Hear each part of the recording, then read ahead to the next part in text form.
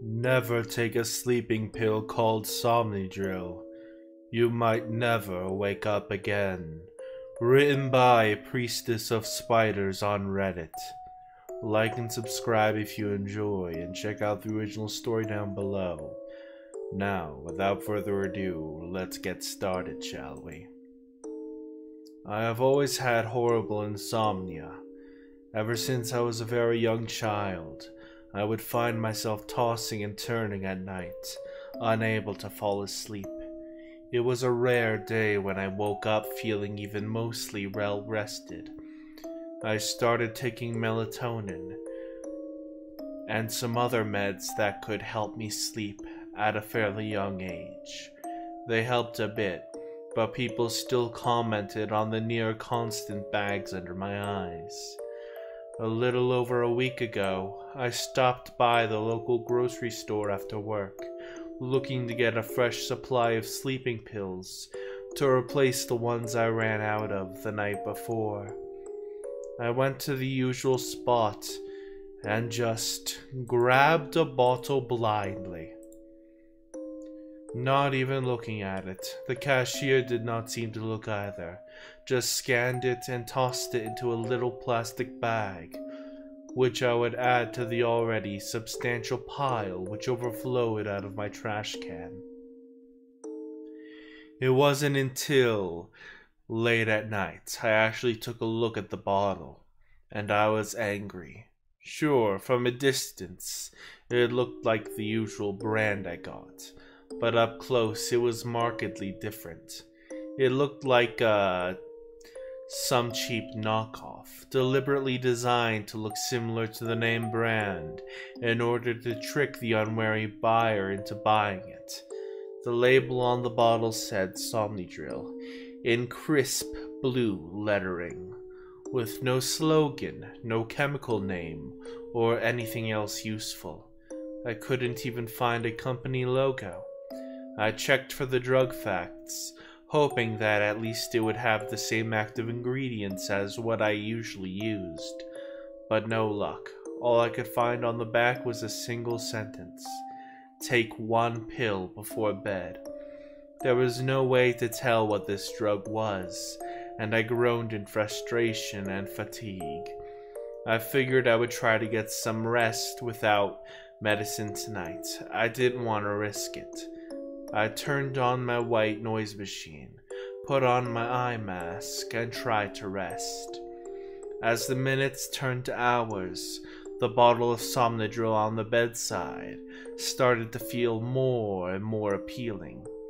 Finally, at nearly 3 a.m., I gave in and opened the bottle. The pills inside were gel capsules filled with an opaque purple liquid. Without a second thought, I dry swallowed one and went back to bed. I started to try to count sheep in my head to tire myself. I got to 23 sheep before I lost consciousness. I suddenly found myself on hard concrete. I rubbed my eyes, standing up as best I could. When I opened them, I found I wasn't in my room. I stood on the edge of a tall building, looking over an enormous, brutalist city extending as far as I could see. Endless chaotic masses of angular gray buildings, surrounded by thick mist. I couldn't see the ground or the sky. Eventually, everything was so foggy, it was as if there was nothing there but buildings forever. Enormous spires of dark concrete extended for what seemed like miles into the sky, larger than any metropolitan building in the real world. There were no windows on any of the titanic structures, no lights to show I wasn't alone. The smell of the mold was heavy in the air, and I began to feel woozy. My eyelids fluttered as I started to lean towards the edge, about to fall. I woke up in bed, the faint sunlight pouring through my apartment window. It was about a minute before the alarm was due to go off. Normally, when I dream about falling, I wake up in a cold sweat, panicked, heart racing. This was different. I felt so energized, so utterly awake and ready to seize the day. Whatever this Somnidrill was, it was certainly working to fix my insomnia.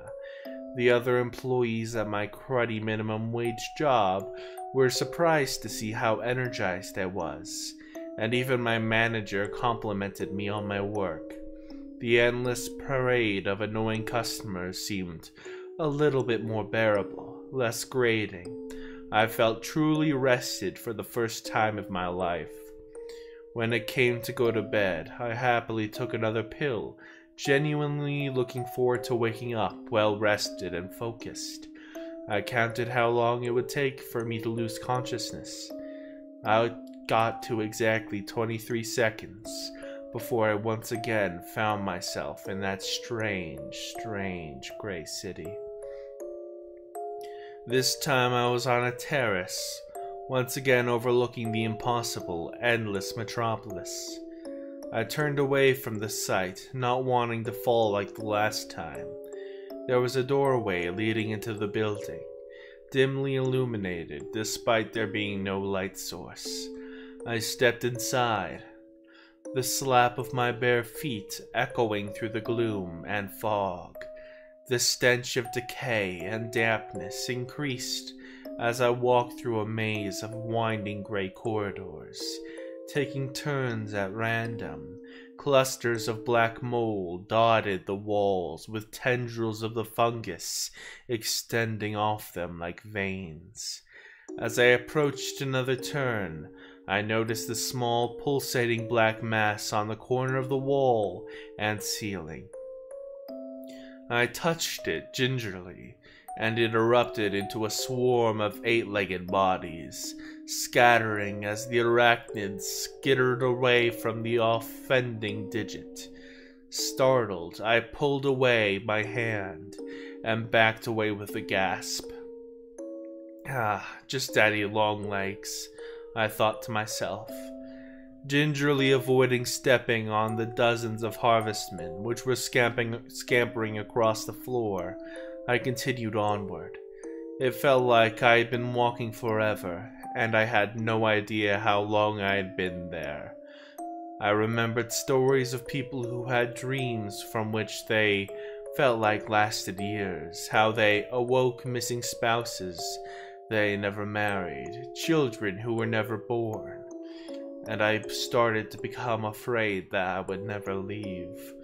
As I started to panic, I started to hear something which pierced the unending silence of the dead city. A faint hum of static, like a whole white noise machine set to low volume. It reminded me of the gentle roar of ocean waves upon a distant shore. I began to move towards the noise, wanting to be free of the mon monotony of pointless exploration. I quickened my pace, jogging down the black corridor towards the static.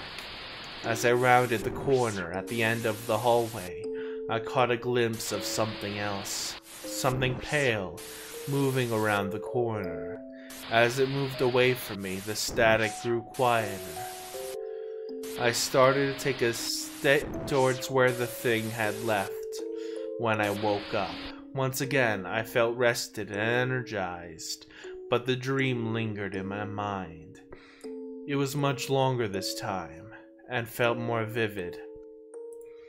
Explaining away the dream lasted longer simply because I slept more than the night before. It was the weekend, so I decided to spend the day cleaning up my apartment and doing some long overdue chores. The energy I got from the sleep was stronger, more pure than anything caffeine could produce. I didn't need to touch an energy drink or a cup of coffee for the whole day. By the time I was done, the apartment looked cleaner than it had in years.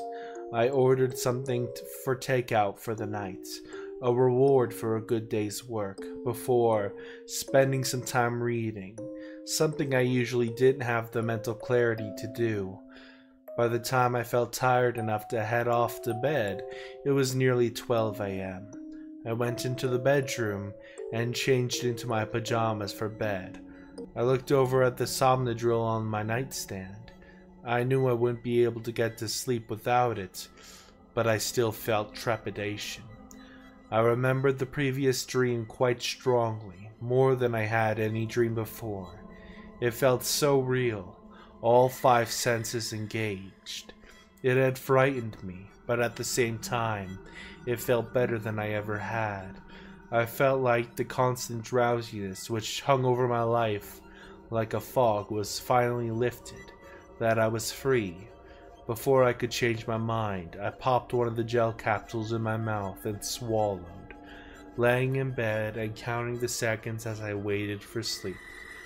Once again, exactly 23 seconds passed before I fell asleep. I was in a long, bare hallway, dimly illuminated before, despite there being no source of light. It seemed to continue onward in front of me into infinity. The same black mold grew in odd clumps on the walls, and I could see a twitching mass of daddy longlegs near the ceiling. I turned around and saw the hallway continue on and on and on ad infinitum behind me as well. It seemed like the whole world had been replaced with these miles of concrete. In no particular hurry, I turned back around and started walking. I reflected on how quickly the transition from the waking world to the dream had been. It felt less as if I drifted off to sleep and more as if I'd suddenly been instantaneously transported into another place. It didn't feel like I was asleep. That sense of being guided along by the whims of my unconscious mind wasn't there. I was wholly lucid and entirely aware of my surroundings. I could feel the cold, slightly damp concrete beneath my bare feet. I could smell the scent of rot and stale air. I could hear the tinnitus ringing in my ears due to the utter and complete silence, broken only by the stepping of feet as I marched endlessly onward. I tried to keep track of how long I had been there, but it is hard to tell time without a watch nor visible sky.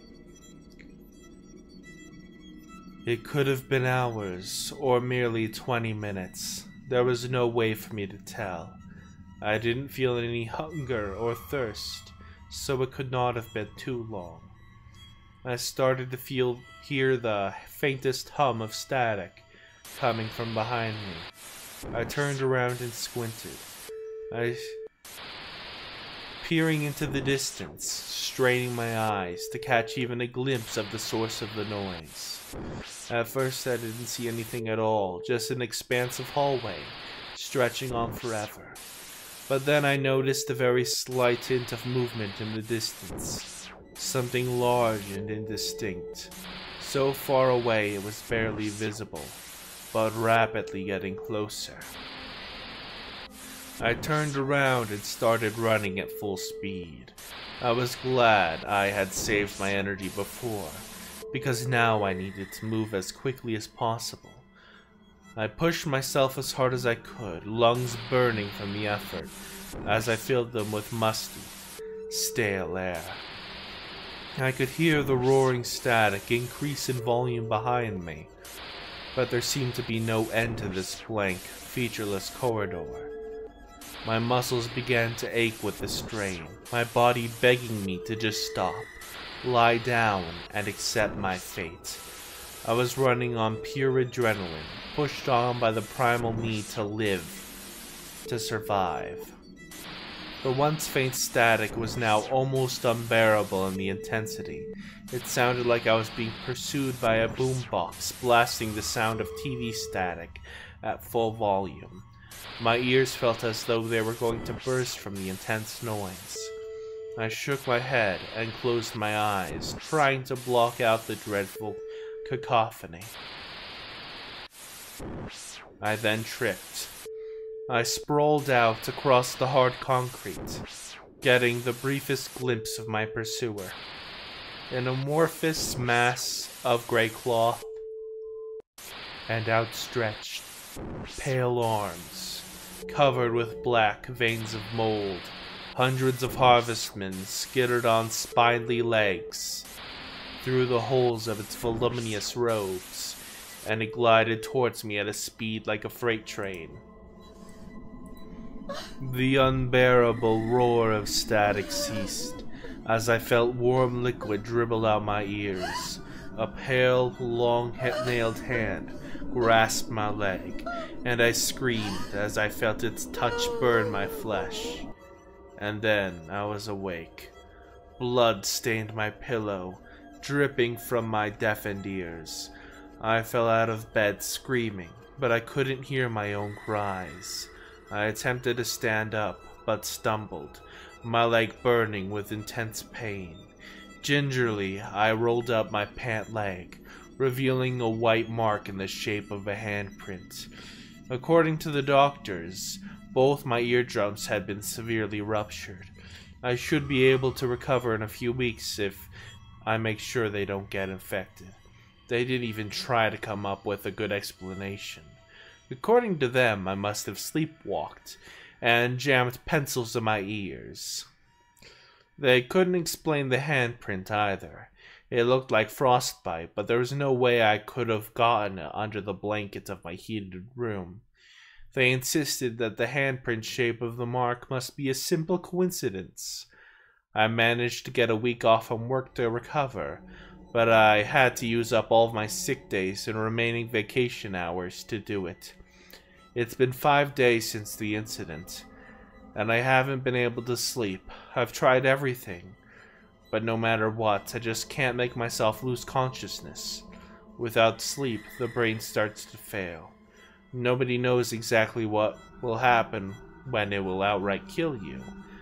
But I must be getting close. I've begun hallucinating now, seeing little veins of black mold on my walls, daddy longlegs climbing on the ceiling, and every so often I hear the faintest hint of static. I need to sleep, but I know now that the only way I'm going to get any rest is to go back to that horrible place. I have a glass of water and a pill of Somnidril on my nightstand. Pray for me. I hope you enjoy. Please like and subscribe, it helps the channel a lot. See you next time. Hello there. How are you doing on this wonderful night? Today we'll be reading the story of Tin Can Sam. I hope you all enjoy. This was written by Eurytris on Reddit. Check them out. Now, without further ado, let's get started, shall we? Count Julius Productions. Sit down, get comfy, and await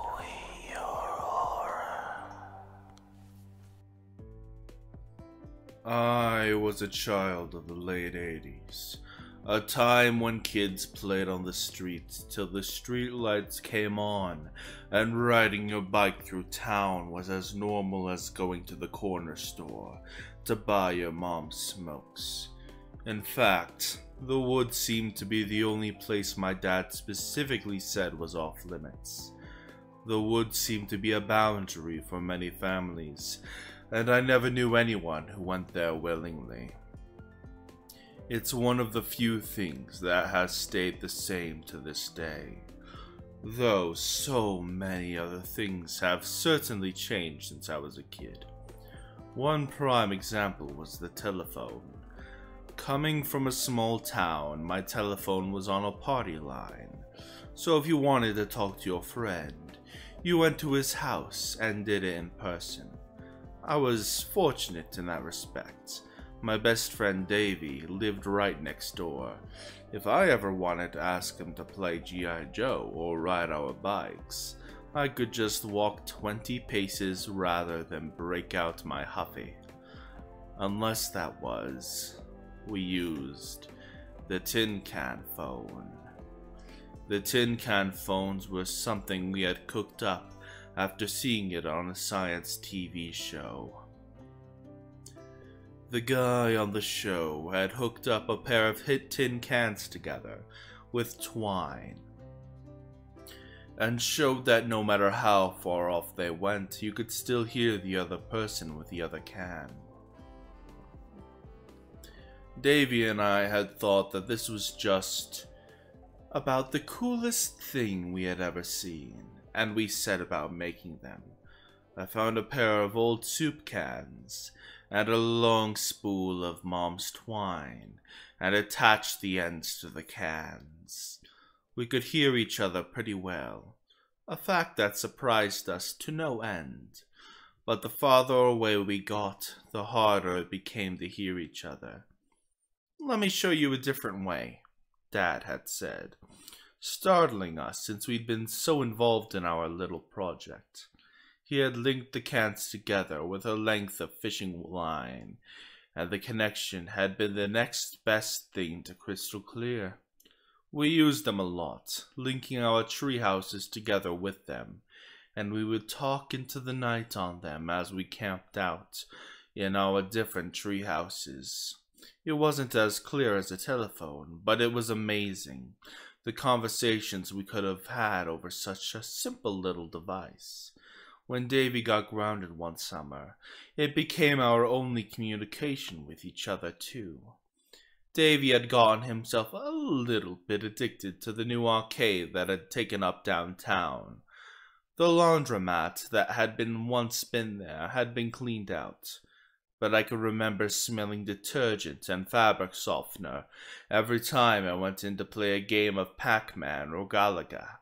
Davy and I went there a lot, but Davy seemed to have developed an unhealthy love of games.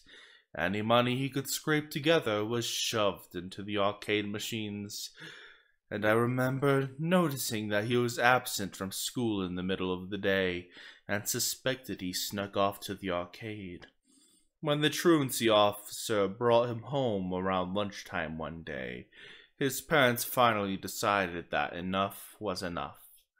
They grounded him for the summer, told him that he might manage to earn some time back for good behavior, but forbade him to go to the arcade until he could get a handle on his addiction. Davy and I talked over the tin can when we could, but Davy made it pretty clear that his parents would take it if they found it. He would camp out when the weather was fair and talk most of the night. Davy's only real connection to the outside world being me. So when I picked up the can one night, calling for Davy through the hundred feet of fishing line, I was unsurprised to hear someone pick up right away. As it turns out, though, it wasn't who I was expecting. Hello? said a small voice, and not like Davy's at all. It sounded like an adult trying to do a bad imitation of a kid's voice. Who is this? It said again. And I remember shaking off my uncertainty as I remember that Davy liked to do voices sometimes. Davy and I sometimes listened to the radio DJs prank call people, or we'd catch comedy performances on the satellite TV Davy's family had. Davy had a few characters he had been working on. Despite the fact that they all just sounded like him, and I assumed that this was nothing more than another bad character performance. Who is this? I challenged back. This is Sam, the voice said, still high pitched but getting a little surer of itself as the string made it sound tinier and robotic but my friends called me Tin Can Sam. Yep, definitely a new voice. If it had been the modern day, I would have said that he reminded me of Herbert the Pervert from Family Guy. It was 1991, however, and all I could equate it to is that funny way that Michael Jackson talked. The voice was funny, kind of, but it also sounded like Davy doing a bit. Well, Sam, why do they call you Tin Can? Because I wear the tin cans. I empty like jewelry and clatter everywhere I go. I'm a hobo, you see, and most of my meals are taken from cans. Who do I have the pleasure of conversing with tonight? I played along and introduced myself to Tin Can Sam. He asked me if I went to school, and I told him that we were out for the summer. He asked if I lived around here, and I told him I lived next door. He asked me how old I was, and if I knew the kid who owned the treehouse, and a dozen other things as I played along. Some of you guys will think that this is weird. Why would I surrender a lot of information that Davy would have already had if he was already doing a bit? Well, to answer that question, you would have to understand how Davy was when he was doing a character. Davy was one of those people who would commit to a role, even if he was doing a new character. That person didn't know you. Interacting with him was like meeting Davy all over again. But he was my friend, so I put up with it. At least it wasn't Grandma Gerda, who had memory problems and constantly forgot the things you told her. So I played along with the game, asking Sam what it was like to be a hobo. It's alright, I guess. I used to own a hardware store, but people didn't like me very much, so I had to leave. It's rough not having a house sometimes, but I meet so many interesting people on the road. What do you do for fun? I asked, nodding to myself at how thoroughly Davy had committed to the role. Tell stories mostly. You sit around the fire at nights and eat your dinner and tell tales. We especially liked scary stories. Scary stories? I asked, a little taken aback. Davy was not a fan of scary stories. He liked to try and play it cool, but he was a scaredy cat at the core of it all.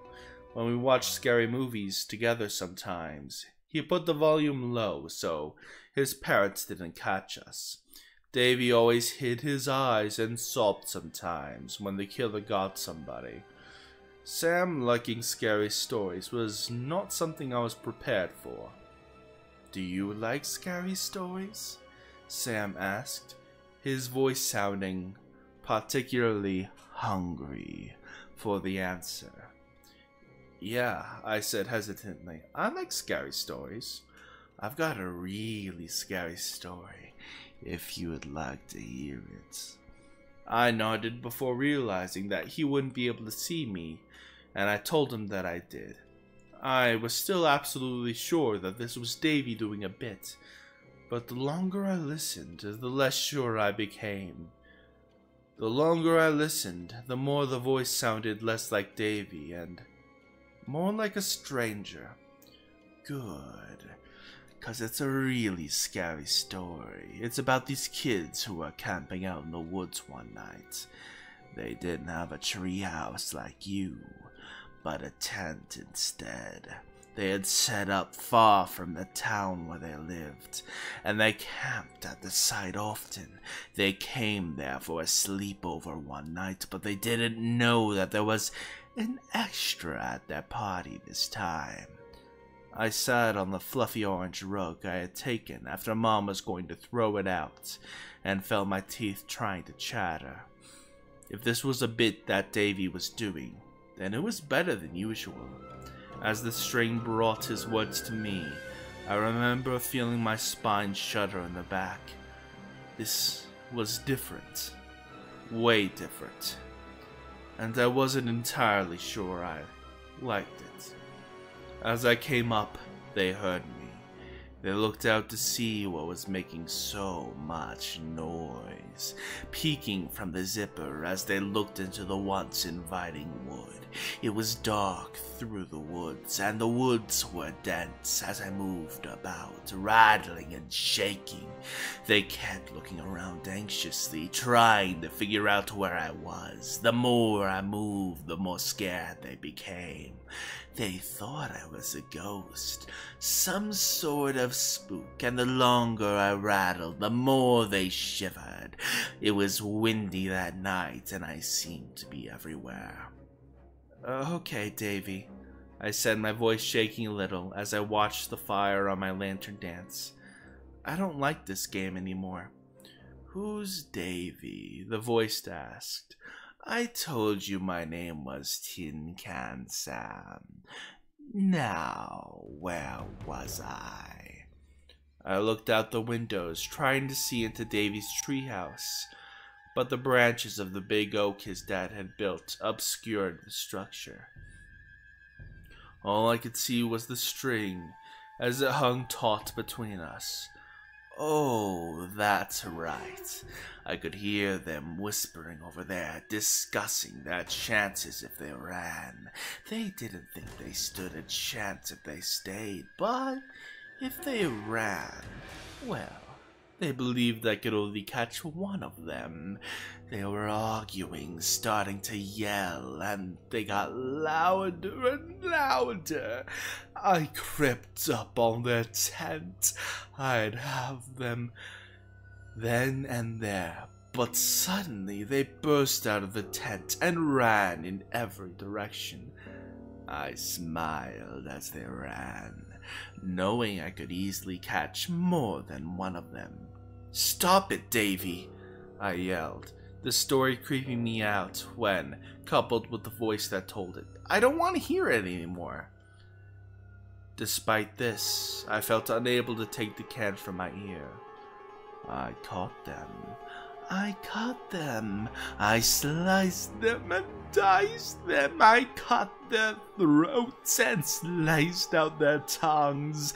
I cut their legs and took off their fingers. And when I turned my attention to the third boy, I knew I could get him before he got home. I took off after him, my cans rattling like ghostly chains. He kept glancing behind him, hearing my clatter as I got closer and closer.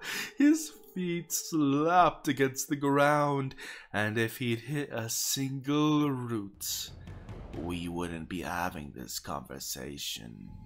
I was so close, my knife still wet with his friend's blood and as I lunged, he jumped over a small fence and came into his backyard. I stood, watching as he tripped and rolled onto the grass of his home. And when he looked back, I melted into the woods. His race won. I let the can fall to the rug, not wanting to hear anything else as I scrambled to the ladder of my treehouse and pulled it up. Unlike the children in the story, I was not in a tent. I knew that no one could get me if the ladder was up, and as I dragged it into the treehouse, I could see a shadow as it hunkered at the edge of the fence, separating my yard from Davy's. It was a man, a skinny wisp of a man, with strings of cans hanging off of him. He looked up at me as I looked down at him, and even in the dark I could see his broad white teeth as he grinned. I slammed the trapdoor shut, but even in my safe fortress I wasn't outside his reach. As I hunkered on the carpet, I heard his voice ooze from the can as he left one final word on the Tell your father he was right to tell you to be cautious of the woods. he may have said more, but I threw the can out the window and heard it tonk as it landed in Davy's yard. I spent the rest of the night with my knees against my chest, jumping at every sound outside as I listened to the clank of cans. I didn't come out when the sun came up and when someone called my name from the ground, I jumped in surprise. Looking out my window, I was happy to see it was my dad. I came down the ladder, leaping into his arms as I cried against his shoulder. What's wrong, kiddo? Have a bad night? He asked, smiling, but clearly concerned. I felt him stiffen when I told him what Tin Can Sam had said, and I felt him hug me even tighter. I'm sorry, kid, he said. I am so sorry. I never slept in that treehouse again, and after I told Davy about what had happened, I don't think he did either. I'm an adult now, obviously, and my parents' house is now my house. After my dad died of a stroke when I was in college, and mom passed a few years later. Melinda and I decided to move into the largest part of my inheritance. Our children love the big backyard. The treehouse that I've refurbished and repaired, but I always warn them to stay out of the woods. They always beg to be allowed to explore, but I've put my foot down where the woods are concerned. I've never seen Tin Can Sam again. But if I ever think that maybe I imagined it, all I have to do is listen carefully on quiet nights. Sometimes, if you listen closely, you can still hear the clank and jangle of old cans as they blow in the breeze. I hope you enjoyed. Please like and subscribe, it helps the channel a lot. See you next time. Hello there everyone, welcome to my humble abode. I hope you all doing well today. Today we will be reading Decay, a creepypasta. Link to the original story will be in the description below. Please do like and subscribe. And without further ado, let's get started. Am I going to die? The kid asked me as he was being rolled into the operating theater. It was a question I'd heard a thousand times before, but answering it truthfully hadn't become any easier. Even after years at the hospital. Of course not. We're going to fix you right up. I lied. He'd been crushed in a horrific car accident, and though we would put all our effort into saving his life, hope was a limited resource. The fact that he even remained conscious despite losing most of his blood was bizarre enough. But after 10 years on the job, nothing surprised me anymore. The anesthesiologist quickly put him under while we scrubbed in for surgery. Damien would be the surgeon, a specialist in polytrauma cases, and I would assist. No sooner than we opened him up before we shared a look of disappointment. There was no chance in hell he'd survive through surgery. Despite our lack of faith, we tried our best. But after only half an hour on the table, his heart gave out. How was he still alive when he arrived? Damien asked. He pronounced the time of death and left us to clean up the mess. I took the responsibility of cleaning the kid up for the morgue, a task I had committed to a thousand times before.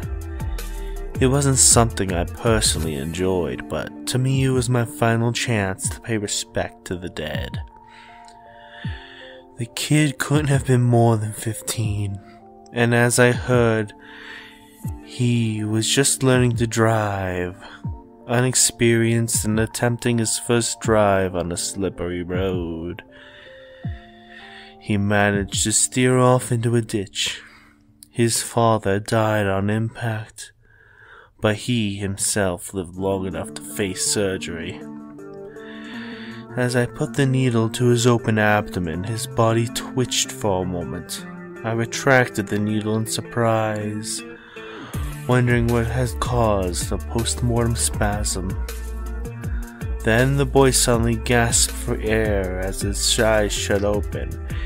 He let out the most violent scream imaginable as he suddenly returned to life.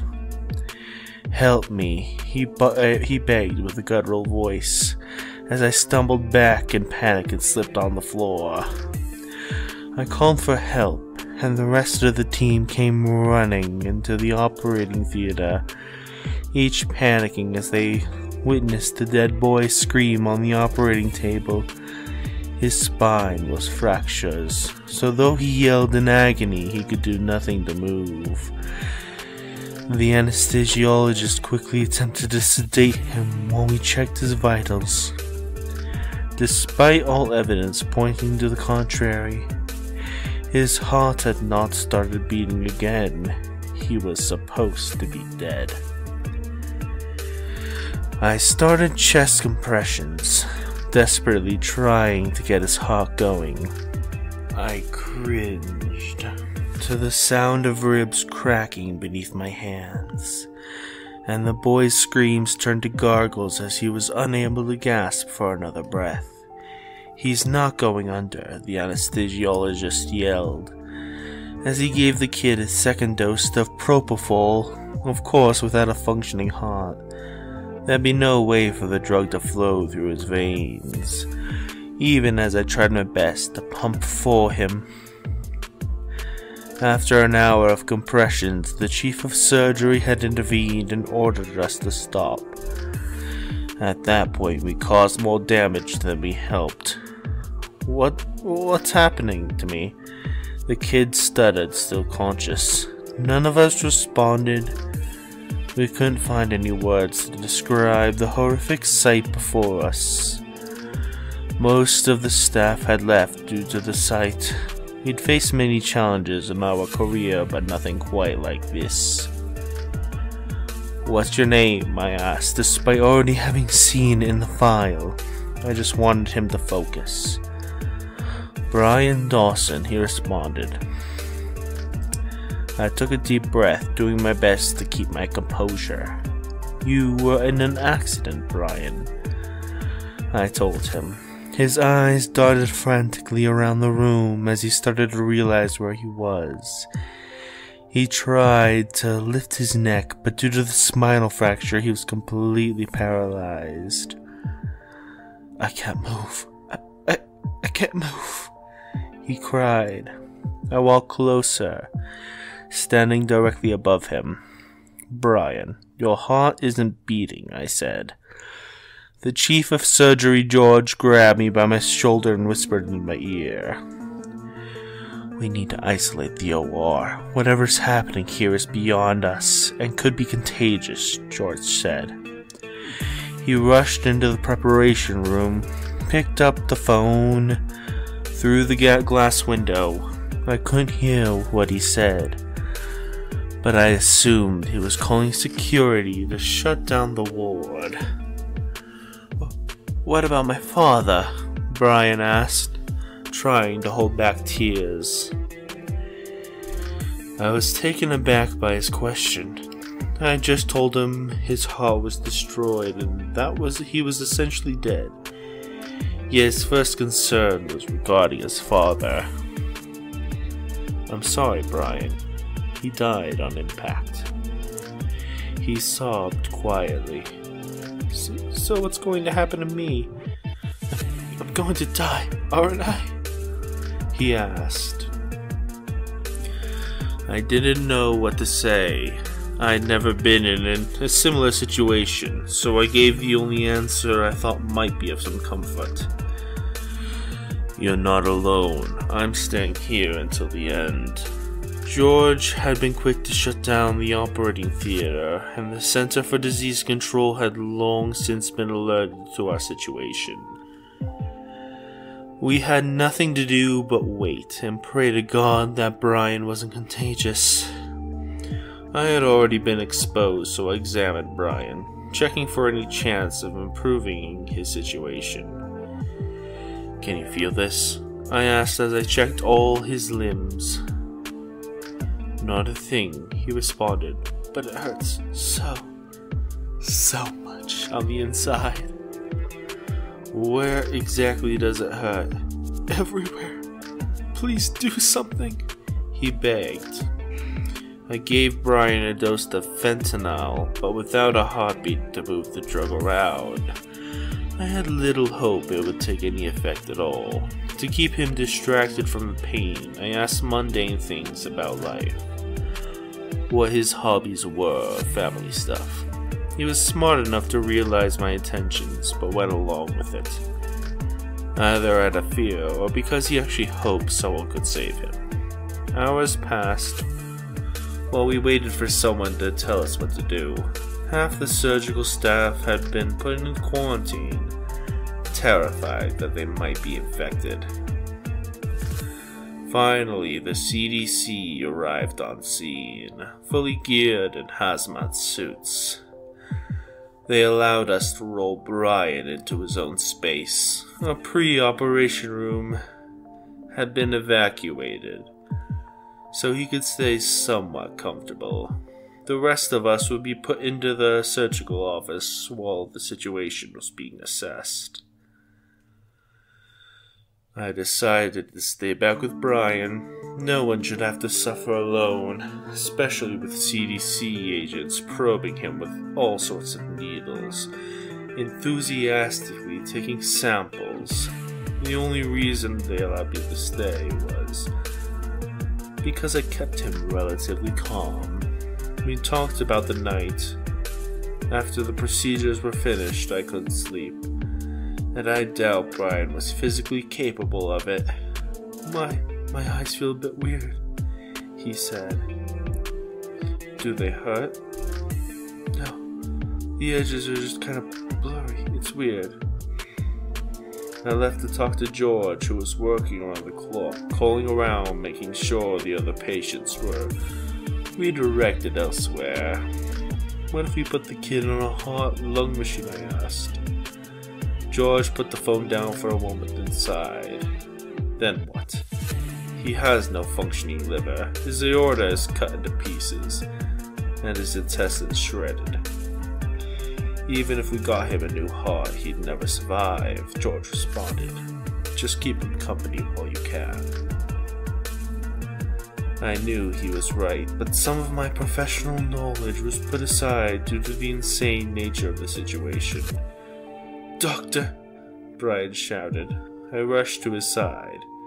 I, I can't see, he stuttered. I pulled out a flashlight and examined his eyes. Both pupils were unresponsive, and his eyes had started to almost deflate, which was one of the stages of decomposition. Brian had started to rot. Please, I'm so scared. Brian was a brave kid, but he started to lose his composure, just like everyone else in the ward. I kept talking to him, but the inevitable truth was that if he kept decomposing, he'd soon lose all his senses, all while being conscious to experience it, as horrible as it might sound. I begged that I might finally allow him to pass on. We kept talking. I asked him if there's anyone he wanted to call. But as I already knew from the others, Brian's mother had died during childbirth, and his father had been in the same accident as himself. As we talked, Brian's voice kept getting louder, as if he was still struggling to hear. Are you hearing me alright? I asked. What did you say? Brian basically yelled. His hearing had deteriorated within minutes, going from impaired to deafness before I could even begin to help. With him being blind and deaf, we no longer had a way of communicating, no matter my attempts. I couldn't comfort the dying kid, and the CDC quickly decided that my presence had become unnecessary. Brian kept screaming in terror and agony as I left. For each passing second, his own body started digesting itself, and nothing we could do would take the pain away. By the morning, the screams had silenced. I barged into the room, much to the dismay of the agents.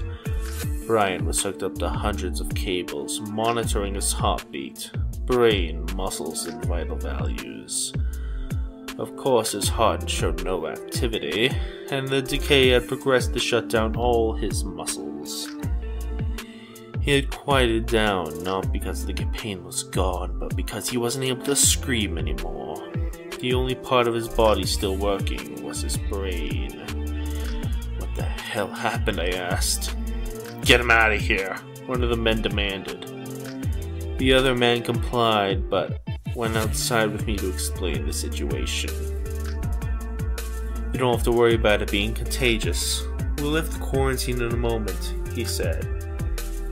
He looked weirdly somber as he spoke those words. What about Brian? What will happen to him? He's still conscious, but he has no respiratory function anymore, so we have no means of communicating. Brian was still alive, blind, deaf, and dumb. He had to suffer in loneliness, unable to die. How long did he have to suffer for? I asked. We'll know more when we move him to our specialized facility.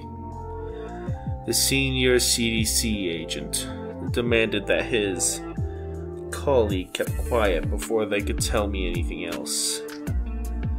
They left with Brian, covered him within an airtight capsule, so no one would see the horrors that just occurred within our surgical ward. As soon as the quarantine was lifted, I headed home to write up my letter of resignation. I had a well connected contact within the CDC, but upon trying to get more information, he claimed no such case had ever been presented to them, and no one had ever been admitted to their facility under the name of Brian Dawson. About a month later, accompanied by a doctor, showed up at my door with a bunch of documents, all regarding doctor patient confidentiality. The lawyer looked tired, worked down to the bone, and as if he'd made many such trips before, he asked me to sign the documents and never speak of this again. Saying I'd lose my medical license if I did. Not had mattered to me. I'm done in that field for good. I was given an injection by the doctor. He told me that Brian's disease was not unfamiliar to them, and that it was extremely contagious, but only upon death. He explained that half the population is infected with a disease that keeps the brain conscious for hours, even days, following death. Brian's case was special in the sense that he actually retained some motor function and was able to speak to us. The injection given was not a cure. It'll only prevent me from spreading the disease. But once I die, I'll suffer a fate similar to Brian's. I just hope someone will stay with me when it happens. And that is the horror story, thus titled Decay. I hope you enjoyed. Please like and subscribe. It might keep the monsters at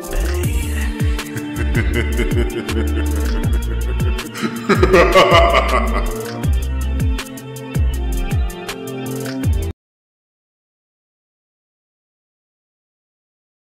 Hello there, everyone. Welcome to my humble abode. Today we will be reading a horror story thus titled Elysium. What will it be about? What horrors will it bring? Stick around if you want to find out. And if you end up enjoying the video, please like and subscribe. Without further ado, let's get started. I remember living on the streets, that I remember. Exactly how that came to be is still unclear. But I know that one way or another it was because of my parents. I hated them. Hate them with the little memory of them I have left. Flashes of pure terror.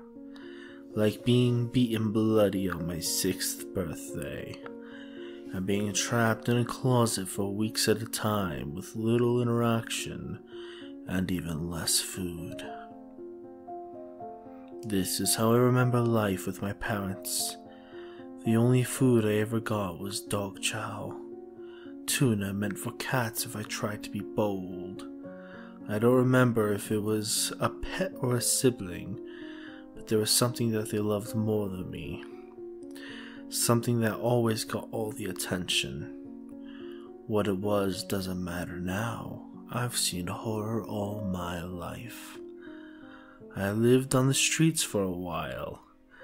I think it came up two years ago, but it could have been more. It felt like a lifetime. Sleeping on playgrounds and benches, stealing or eating out of trash bags just to survive. I was about 11 when Alice picked me up. She found me cradled in the fetal position behind a dumpster between two buildings, the names of which I couldn't read. I was just skin and bone back then. She said I had blood on me, but whether or not it was mine, I still don't remember. I was in shock from something. That's when I met her. When Alice took me in, she promised a new way of life. She promised a family, love, and nurturing. But most of all, she promised food. Real food. She took me to her car and drove me up to the manor where she lived. I do remember that she didn't actually drive. We sat in the back of a long black car with slick red interior leather as an old man wearing a little hat drove me to my new home. The building reminded me of a haunted mansion I saw in a movie once when I snuck into the theater. I've never eaten so much popcorn before in my life. People just left it all over the floor, and nobody else was trying to get it. I don't remember what the movie was, but it made me not want to go back into that building. I screamed, I cried, I punched the driver in the eye. But through the soothing mystique of Alice's welcoming voice, I was coaxed inside.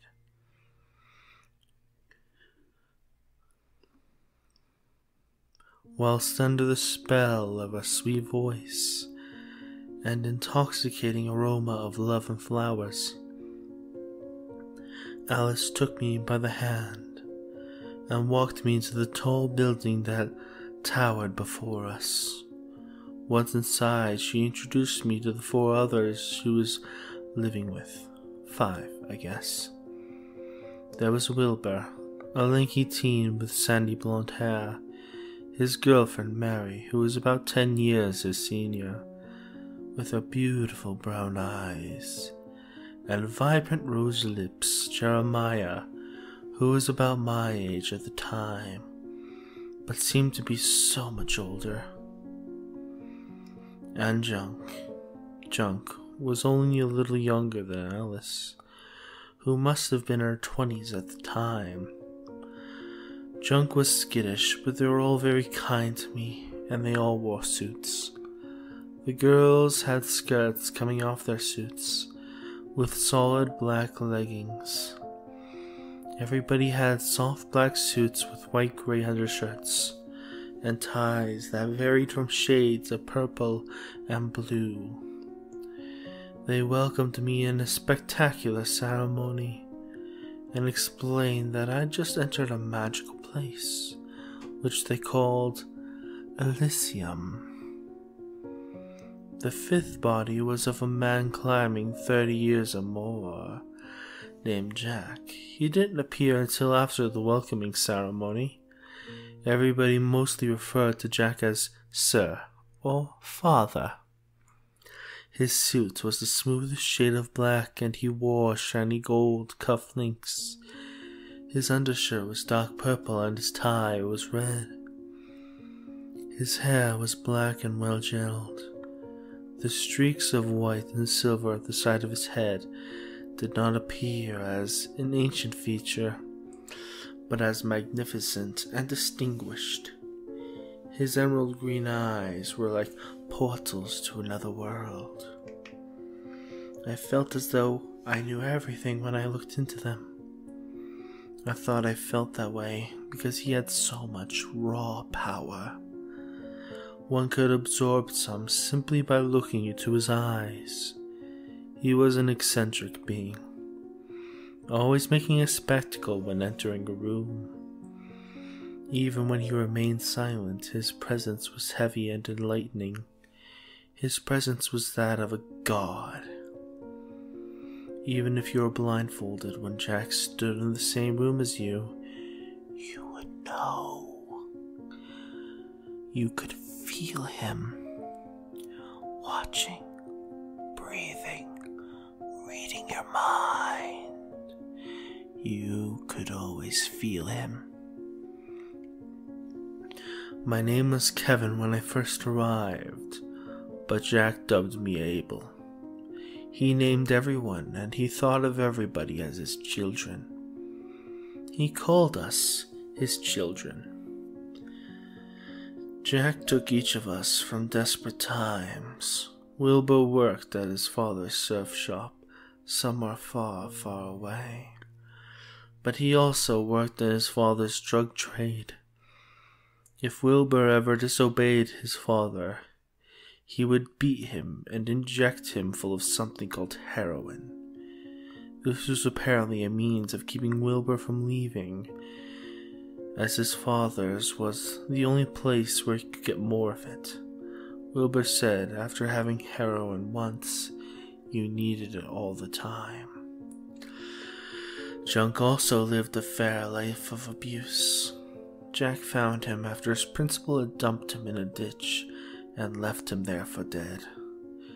Apparently, wherever it was that he attended, the entire school hated him, students and staff alike. They would call him junk, so Jack told him to turn that weakness into a strength. And he made that his new name. It never quite had the effect Jack was hoping for. Or maybe it did. Wilbur and Junk were the only ones who dared to tell me about their lives before Jack. Speaking of a time before Jack was strictly prohibited because we didn't need anything else. Jack had been the only one to ever care about us. Nobody else would, and this is something he would remind us often. He told me once that he was to make sure we were never ungrateful. The whole house was my family, but Wilbur and Junk were my friends, my best friends, my brothers. Though Jer, Jeremiah, and I did have our share of heart to hearts, and I'm pretty sure he wanted my head on a spike. I knew he'd have my back he was my brother after all, and he would protect me. But maybe it was because he wanted him to be the only one allowed to hurt me. He and Jack. Jack and the others taught me that Elysium was a holy place, untouchable by those unworthy. They said that those with truly dark hearts saw nothing when they looked up at the building or the property on which it stood. That to them it simply was not here. I had heard vague descriptions of heaven in the past, which Jack said was close to Elysium, but not quite. Elysium was a place where lost souls could go with their hearts still beating. A paradise for the broken, if you will and once you die, your soul remains there. It simply traveled to a parallel plane of existence, invisible not only to wicked hearts, but anything that drew breath. However, Jack wasn't like us. He said he stood in both planes, that when we died and shifted to the next, he would greet us as the same spirit. he's always been, but in a completely different form. He told us that our own appearances would be changed forever, details depending on the wavelengths of one's soul. We would take on our true forms. Jack's ability to see and exist in both planes explained why he would sometimes speak as if in a conversation with someone, despite us seeing nothing. Even when Jack thought none of us were around, this was him talking to those on the other side, in forms incomprehensible to those on the outer plane. Within my first week of living in Elysium, Jack professed to me that if he were capable of having favorites, I would be it. He said that he saw a lot of potential in me. Jer overheard this and never truly got over it. Jack had to be stern with me sometimes, beating me with his cane or taking me to the dark chamber. But compared to everyone else, I was always the golden child. I almost never stepped out of line. So I didn't really have the same experience as at Elysium as everyone else. Apparently, whenever Jack thought someone broke a very serious rule or too many rules, he would come for you when you were alone and perform some mysterious act of horror upon you. Jack slept with everyone in Elysium mm, as a way to bring our souls closer together. It was a horrifying thing to experience, every second of it terrible. But even so, they said this was not the mysterious punishment, nor was it the visits to the dark chamber but as far as I was concerned, those were the two worst experiences to have in the house. It bewildered me to think that there was something even worse than the tortures that met you in the dark chamber. And to this day, I still don't have any details, or even a vague idea of the mysterious act. Whatever it was, it was sometimes made people to want to leave, but they didn't. We all stayed because there was nowhere else to go. No one else to go to. Jack was all there was. He was our God, our home in heaven. Months after she disobeyed and experienced this mysterious horror, Alice told me something that nobody else had shared before. Because it was prohibited. She told me her name before Jack. It was Donna. Her friends used to call her Dawn or Donnie. She said sometimes she missed that name. She felt that when Jack changed her name, he changed who she was, and sometimes she didn't like that person. Not at all. Overall, Jack was kind to us. He took care of us, he fed us, we all ate together, we read together, and we bathed together every week. We were a family. We never left Elysium. The property was rather large, so we still went outside, but we never truly left. The only people who could leave the house were Jack and his butlers. Alice used to go out, in charge of finding new members. But one day, something happened and that changed. Jack J gave the job to Mary, but after a week he simply kept the duty to himself. He even stopped taking the butler, saying he could trust few. Over the years, a few more children were added, and it was great. Our family was growing. But when I was about 16, it seemed as though Jack was letting anybody with a shady past into our doors. There was no great selection, no lights. He saw in them as he saw in me. He was simply recruiting. We started having larger ceremonies where Jack would explain how we were to live our lives in Elysium and how evil and wretched the outside world was. How he was all we had and all we needed. I hated many of the new children, the ones let in because they had a shady past and a beating heart. They had no morals, no respect, no love. They would pick small groups and remain in them. They would ridicule anyone who wasn't a part of them.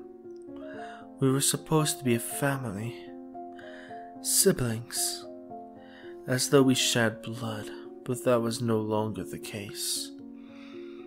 Amari and Adriel were the worst of the bunch, the ringleaders of all the bad apples that had corrupted Elysium's holy basket. It was like they thought they were Jack. They looked like they were identical twins, even though Amari was a boy and Adriel a she devil. But they were also lovers. Years ago, that would have disgusted me, but things like that became regular practice in Elysium. I was about 20 to 23 when we reached 40 or so members. I believe just below 40. I don't know how many exactly how old I was. Because that's something we don't keep track of in Elysium. You are not to keep track of days, years, or months. You can recognize the seasons, but you cannot count them. Jack said this was because Elysium was eternity, and to try to know one's age was to deny and reject that eternity. But Alice had gifted me a calendar to hide. I would mark it almost every two moons, and we should try to celebrate my birthday when we had the chance. I was eternally grateful for this. I've always loved numbers, but I've never been able to count very high.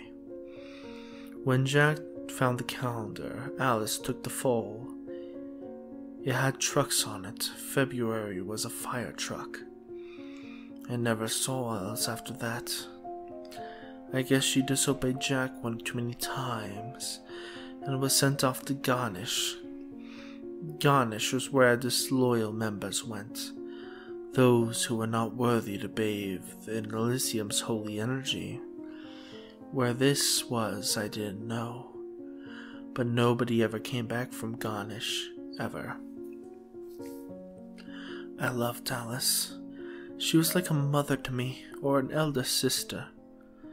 I had many siblings, and I had my group of friends, but with Alice, it was different. I'd always call her Donna in private, and she'd always call me Kevin in private. She was the only one. I loved Donna so much, but I always thought that Alice sounded prettier. Things were never the same after Jack sent Alice away, and with the new members, I ever hardly saw Jack. Sure, I would see him speaking during ceremonies or sometimes during mealtime, but never one on one. He still called us his children, but it didn't feel that way anymore. No, things were different. I was different. I was growing tired of Jack ruling over Elysium. He didn't care about us anymore I knew he didn't. I was tired of living in Elysium. I've always been told that the world outside was where the devil ruled, and my few memories of childhood definitely supported that, but so what? Who's to say Jack was not the devil? Could God and Satan not be one and the same? He who could exist on two planes was surely capable of wearing more than one face. The cleansing began when Amaris spoke ill of Alice. I thought I'd heard it before, but it was always in a crowded area, so I could never be sure. This time it was in the quiet hall just before our chambers. He called me scum and said that Alice was a whore who strayed from Jack's path and deserved to suffer and Garnish. I grabbed a fistful of hair and crashed the blond fool's head over the hall window. Noise didn't matter. Nobody was to leave their chambers at this light. Only Jack could, and his chambers were on the other side of Elysium. I grabbed a shard of glass and cut his throat. He gurgled at me with teary eyes, and I prayed to Alice. I remember in the beginning I was very keen on covering my trails. I didn't want to know how such an act would be treated by Jack, or the other members for that matter. Order was lost. These new members were clear agents of chaos. I used to think that such fools didn't deserve to bask in Elysium, but as I went on with the cleansing, I wondered if Elysium had not been garnish all along. I soaked up the blood with the sheets and threw them in the furnace. I could not throw Morris in along with them because not only was I unsure if it would completely burn his bones or not, regular maintenance of the furnace was kept, and somebody would be checking up on it just before the day rise. So I wrapped Amaris in more sheets. We had so many. Jack said it was in preparation for a growing family, and placed him outside in Elysium's court. One thing Jack teaches you is how to be one with the animals. I called a bird to my hand and broke its neck. I threw it up into the windows I'd broken with Amari and carried on. I got a shovel from the green room and dragged Amari to the woods. I dug for many breaths, of which I lost count, and buried the bastard under the dirt. I'd cut my hand on the piece of glass I used on Amaris. It bled and screamed agony as I dug and I buried, but Jack had taught me that pain was the only in the mind. I was on a mission, I had to carry it out. While walking through the woods, I spotted a stick protruding from the earth. I found the stick curious because it was bright orange. How strange, I thought, so I dug the area around the orange stick, unsure of what I would find. What I did find was a woman, decaying with worms and maggots wriggling around in the remains of her flesh. I gifted Alice a green tie once. I found it while wandering in the field. I liked the color green, and I thought she deserved some individuality. This upset Jack, of course, but at the same time, he was still partial to me and let it slide. This woman had on that tie, as I'm sure you've guessed. The woman I found was Alice. I did some more walking and found a rather large area littered with orange sticks. I had found garnish. I had to ditch my bloodied suit walking back to Elysium in nothing but my shoes and my briefs. Of course, I had extra suits, but only so many. I prayed Jack would not count them, because I couldn't think of a good reason why one should be missing. When night became day, I helped the butlers clean up the glass and used one of their shots to reopen the wound on my hand so it wouldn't seem suspicious. Nobody thought the better of it. Nobody but Adriel. Many assume Amari had simply abandoned Elysium, and Jack saw him dishonored. He even held a ceremony about it, but she was not convinced. In fact, his disappearance drove her mad. She would not shut up about foul play, not until Jack ordered her to. Adriel became a silent being after that. Despite this fact, I decided she was next. She got on my nerves and though she seemed innocent now, I knew she was still pulling the strings on Elysium's bad apples. I've never heard whispers of a mutiny. If anybody was gonna take that bastard, Jack, down, it was gonna be me. But first, I had to destroy what he created. The story of Adriel's demise isn't really one of much, much interest. She was in the green room and I beat her to death with a hammer. Simple as that, I didn't even say anything. Didn't feel anything either. Not even rage, it was just a minor chord. The only interesting and right worthy things about it were some memories flooded back during the act. I'm still unsure exactly what brought me to the streets as a child, but I do remember what happened to my mother. My mo- father started having me make his meals. I made him four dishes before I doused one with rat poison. When my mother caught me with the box of poison in one hand and my father's plate in the other, she threatened my life. Instinctively, I reached for the closest object on the counter behind me, and I beat her head in with a meat tenderizer mallet. Just as I beat Adriel. I know it's not very interesting, I've never been a good storyteller but it was nice to have at least one happy memory from my childhood. From Kevin's childhood, I should say. The cleansing couldn't wait after that. I didn't want a slow process, I wanted blood and death. I decided I would simply burn the building to the ground with everyone inside. But before I could do so, I still had a few chores. My intent was to tear down everything Jack had created. That included my family and my friends. I decided I would go to Junk first.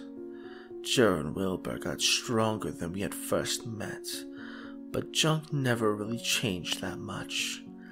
I knew physically he would be the easiest. My friends deserved more than just burn away in that place.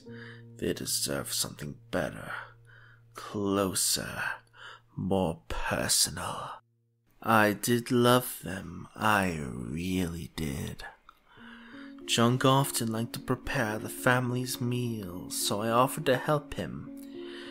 It did occur to me that I could poison the children of Elysium as I tried with my father, but that would taint my final moments with Junk.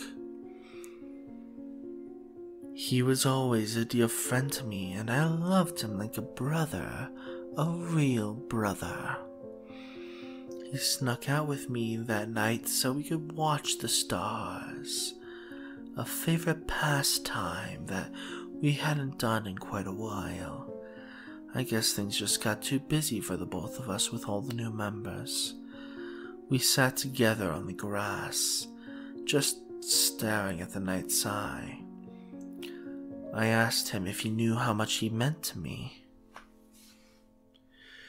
He didn't know the extent, so I told him. We cried. He stood up to give me a proper hug. I held him tight, as if the breeze would blow him away. I retrieved the discreet kitchen knife I swiped earlier that day and drove it into his back. His last word was a whisper. He asked me, Why? I looked at him for a second and put my hand over his shoulder, unable to answer. I wanted the embrace to last, but I knew it couldn't. I drove the blade in further, and it gave a twist. He fell to my feet, and I opened his neck just to be sure. He didn't need to suffer any more than he already had. I buried him next to Alice. I had stolen a can of green paint from the storage room and gave them two green sticks crossing into X's. I planned to kill Wilbur next. But at this point, Mary was pretty old, so I went with her instead. Jeremiah and Wilbur were the strongest, so they were the last. I waited for Wilbur to leave their chamber to run an errand for Jack. I slipped into the room expecting her to be in bed, but instead she was bathing. They had their own bathroom. I didn't have my own bathroom. I had to share a chamber with six others, and these two were with their own private chamber and their own private bathroom. What a world. She heard me walking and I called out. She thought I was Wilbur. I told her I appreciated how she was mostly kind to me in my life. She screamed and I had to drown the old broad in her own filth. Such a dishonorable death, I know but I was only working with what the world gave me at the time. I put about eight moons or so of space in between the disappearances. It seemed less suspicious that way. At least that's how I thought of it. I guess I was a semi flawed plan because I never really did cleanse Wilbur. Six moons after Mary's death, Wilbur hung himself off the balcony with his belt. Elysium became very unsettled after that, and people started to notice the disappearances. I didn't only kill my family personally. There were others that I cleansed out of the sheer opportunity. But none of them mattered. I won't even write their names, because much less how they died, because they were nothing less than nothing to me. The fear going on around Elysium was like electricity in the air. I think there were ceremonies explaining how these disappearances were holy acts, but I stopped attending those. I feared I may lose control and simply jump up on the podium and beat Jack to death before he could watch his empire fall. I found Jeremiah in the food court by himself and it wasn't even mealtime. He was crying. I've only seen him cry twice before. Such an ugly sight, heartbreaking. When he saw me, he was hesitant, but he allowed me to sit, and we spoke for many breaths. It was just me and him now. We were the only ones left in our family. We knew there were others before us. Mary spoke of the many who were off to garnish even before she arrived, but the six of us were a real family. I decided it would be easiest to cleanse Jeremiah the way I had junk. I could feel the blade in my pocket, but I only needed the conversation to last a little longer. This was the last of my family. I needed it to last, but he got up for a hug and I felt a pain strike my heart. At least he could die like his brother. He pulled me in for an embrace and we stood there for a good moment. When I reached for the blade, he caught my movement. He questioned me, so I needed to be quick. I swung for his spine, but he grabbed my arm and headbutted me, instinctively breaking my nose. He began a frantic apology, but his eyes would not leave the blade. He put it together, clever punk. I tried to explain what I was doing needed to be done. I needed to cleanse the world and all of us of Jack's plights. But he thought me insane. It's funny. I think in the false book, Abel is the brother who is murdered, not the brother that murders. I fought Jeremiah to the best of my abilities, but despite our shared age, it was superior. I lay propped against the meal bench, his food on my chest, and the blade held above his head. I was sure this was my end, but a cruelly comedic turn of events. Jack entered the meal hall. He shouted for Jer to stop. Jer just told Jack that he didn't understand and I needed to die. He swung the blade down towards me, and just as I expected my fate, a loud boom shocked me to my core. It stopped my heart and my breath. I had never heard such a piercing sound. Jared dropped the blade and fell to the floor. There was a hole in his back. Jack stood pointing with his strange metal object. Could that small thing have been what caused such a monstrous sound and brought my brother to such a quick demise? It seemed absurd, but there was no other explanation. Jack really was a being separate from humans. No mortal could wield such power. He needed to be taken down. But what other abilities could he hold? It occurred to me that I really didn't know anything about Jack at all, but it didn't matter. Though it sickened my heart, I told Jack Jur had made an attempt on my life, and in doing so, he admitted to me that he was the cause of the recent disappearances, that he was trying to cleanse the corrupted Elysium and tear down all that Jack had built. There was no reason not to believe me. Now my time was out. I needed to rid the world of Elysium once and for all. Unfortunately, I still had to wait three moons. I still wanted Jack to be the last alive. So I had to wait for him to go into town for supplies.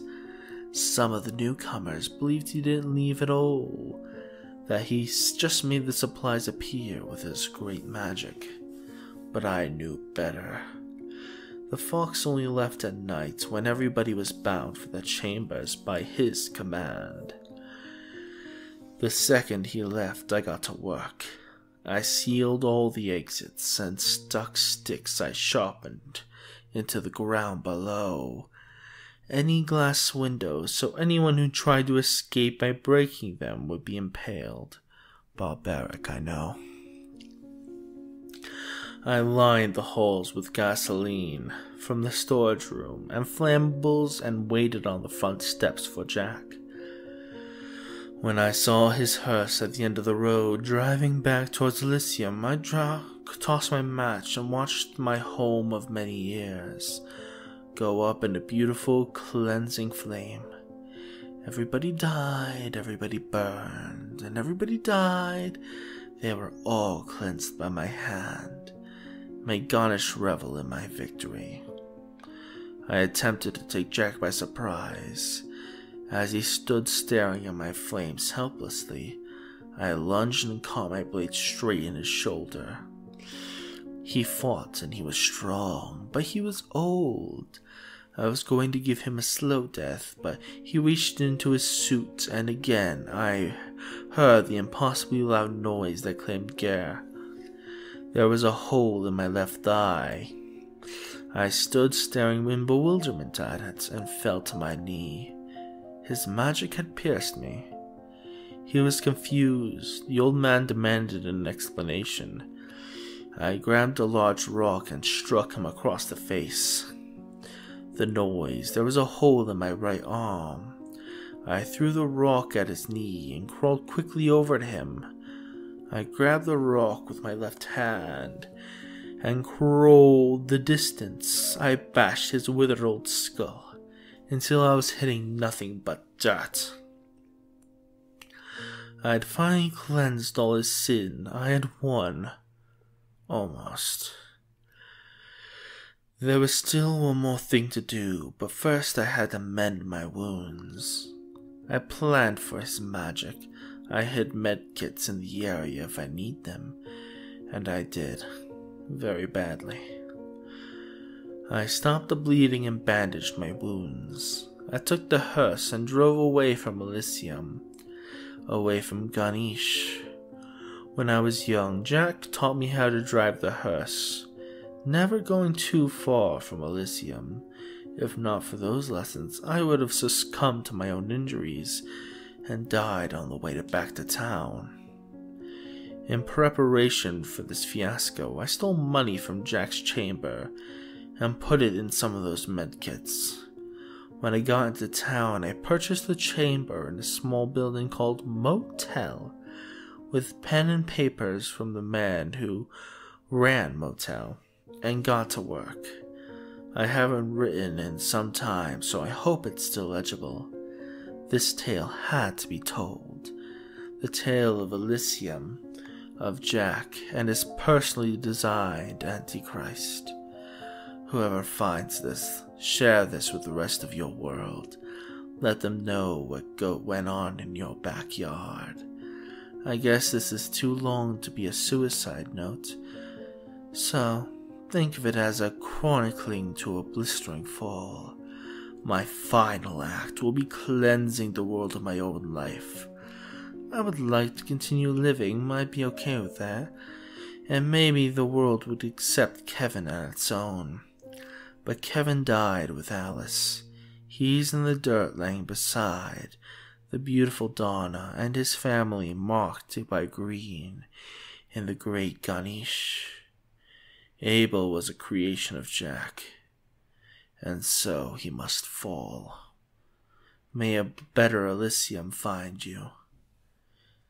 Sincerely, Abel. There's a lot of weird shit on the dark web. I guess that's true for the regular internet as well. And maybe all of it is just a microcosm of the overall strange reality of a sapient existence itself. That was my theory, anyway. Early on in my education, I decided it would be an interesting topic to write my thesis on internet subcultures, and more specifically, on how they arise and what makes them alluring to particular kinds of people. I'm a psychology major, so I figured there was some interesting analytical data to be garnered from a better understanding of how these pockets of society operate. I think the most accurate depiction of who a person really is is what they choose to do in their free time. When the bills are paid and the constricting pressures of society are momentarily alleviated, who do you become? Are you a writer, a painter, a gamer, a Lego connoisseur, or maybe something else entirely? A simple hobby may not seem all that important in the grand scheme of things, but to me, it's everything. Whether society deems it okay or whether it presents any iota of eventual financial boost is irrelevant. We have hobbies simply because of the fact that we enjoy them. Some people may be rolling their eyes at this already, like, oh great, another grandiose pseudo intellectual who thinks he's going to deconstruct the human condition by reading Pawn Stars erotica. I'll promise you this, though there is no stunning twist or revelation looming at the end of this to explain the meaning of life. I'm here for just one reason, and it's not what I originally anticipated. I found something. Something which I think everyone needs to know about. A VTuber is an avatar controlled by motion capture software utilized by streamers. Usually, these avatars are anime girls with various anthropomorphic qualities, but I'm sure others do exist. I won't pretend to know the logistics of it, but they are the latest craze sweeping Twitch, YouTube, and other streaming platforms. As you can guess from the title of this document, however, I found one in a much more interesting place. Thanks to a certain virus, which shall not be named, my classes have been cancelled until at least spring of next year. Thankfully, these last few months of lockdown have allowed me ample time to research my thesis. And that was great because I was way behind on it. I spent some time with the more well known surface web communities on places like DeviantArt, 4chan, Wattpad, Funny Junk, and the remnants of Tumblr. I talked to a few interesting users, but nothing really piqued my interest in the way that I had hoped. Originally, I never anticipated going beyond the surface web. But as time went on, I began to realize the potential of the dark web. I realized that researching communities that everyone was already aware of was just rehashing old content. What I needed was something new, and the dark web was where I would find it. I downloaded Tor and began the arduous process of sifting through the endless amount of content on there. I found a lot of strange sites and pet projects of people. Some of them were cryptic and made to seem articulate and ominous, but again, none really caught my interest. That is, until one random comment caught my eye. I can't even remember the URL that I found it on now, but it was the first time I saw that name Osira. At first, I didn't think much of it, and the person who wrote the comment said something along the lines of Osira would like to know your location. I wish I could remember the extra context for the comment, but I figured it was just some meme reference that I was not familiar with. As time went on, I saw that name pop up again and again in all manner of strange locations all across the web. I googled the name but didn't get an exact match. I finally took the bait, and I managed to engage a user on a website known as Kitsune. The user who had the handle Ryoku the Beast had first commented, Osira will bring vengeance, and it will be fun. I typed a message directed at them. Who is Osira? Sorry, I'm a boomer, I know. I waited around for a few minutes, convinced they wouldn't respond, but was pleasantly surprised. She is love. She is life. A smile crossed my face, and thoughts of Shrek and that infamous video began to circulate through my mind. I thought for sure the user was just trolling me, and I didn't expect anything less. But when they wrote again, join the game. Another cryptic response, and one that only further convinced me I was being trolled.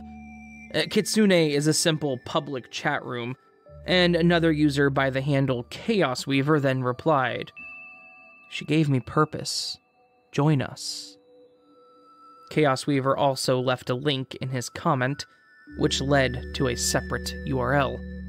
I hesitated before clicking it, still unsure what exactly I was in for. Up to this point, it just seemed like there was a reference to something I was not getting. But after he shared that link, I knew there may be something more to it. Of course, I clicked it, and I waited around for several minutes for the page to load.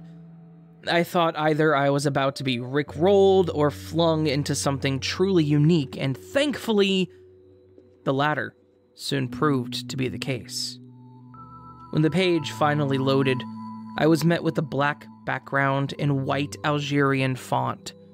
There was a text box with a single question What do you seek? I tried a few different answers, figuring it was some sort of riddle. Truth, freedom, fun, enlightenment. None of them worked. I sat back and I contemplated what it was that the website wanted from me. I thought back to my interaction with the previous users who had led me there. I remembered one of them said something about purpose, so I tried that. I didn't think it would work, but it did. The website reloaded, and after a minute or two, it displayed another page with a similar setup and a new riddle. I am the essence of existence. You fear me but cannot live without me. Nothing would be anything were it not for me. I am the spider to the fly, the tornado to the fields. What am I? I struggled with that riddle for a bit longer than the first and tried several different answers. Once again, the answer was found within my interaction with the two users on Kitsune Chaos. The website reloaded the second time, and I sat back, giving myself a pat on the back. The same text box popped up, but this time there was no riddle. There was a smattering of numbers all over the page, with only a simple question What is the one of two? There was no context given for that question. I thought maybe the numbers were for a mathematical question. There were dozens of them listed all over the place, but with no indication of order or mathematic process. From top left to bottom right, in order, this was the list of numbers 55, 0, 13, 5, 233, 1, 144, 21, 1, 3, 13, 89, and 2. I don't really know why, but this was the moment I became truly engaged in the site. I think it was because of the sort of mystery I was facing. To me, these riddles seemed like a sort of gauntlet or rite of passage. Most websites, of course, want their interface to be as user friendly as possible to allow the most people to access them. Uh, this website, meanwhile, was the complete polar opposite. If anything, they wanted to restrict entry as much as possible, which was made evident by their series of riddles. I agonized over that page for hours, scouring Google and all sorts of other websites detailing extremely complicated equations. I must have typed those numbers into dozens of websites to try and decipher the meaning behind them, and surmise a guess to the question. I thought at first they were GPS coordinates, but I couldn't make them work no matter what I tried. After a great deal of time, I realized the numbers listed correlated with what is known as a Fibonacci sequence. I don't want to get too math heavy, so for those unfamiliar with the concept, you can find better explanations on Google than I can give here. The numbers lined up with the sequence, but were scrambled and out of order. The whole concept of Fibonacci is that it starts with a binary 1 and 0, you add the previous two numbers to achieve the third number in the sequence, so on and so forth to infinity, or until your calculator runs out of room. I entered what would have been the 14th number in the sequence, 377, but it didn't work. That really left me puzzled, but clearly it wouldn't be as easy as entering the next number. When thinking back to my interactions with the users who led me there, I realized there was an emphasis on chaos. On a hunch, I did some more searching around and stumbled upon something known as the chaos algorithm. From what I understand, it's a process of encryption using nonlinear dynamics to achieve random numbers. Its resolution is highly dependent on the generating sequence used, and seeks to illustrate how small variations in patterns can yield colossal changes in outcome. I'm sure that I absolutely butchered the explanation of that, and clearly I am no mathematician. If anyone can provide a more succinct summary of the chaos algorithm, then please feel free to do so. Either way, this theory seemed half part butterfly effect and half part a way of deriving order from chaos. With that in mind, I loaded up a random number generator and converted the output to letters of the English alphabet. Since I didn't have the initial encryption method at hand, I realized that decryption was a nearly insurmountable task.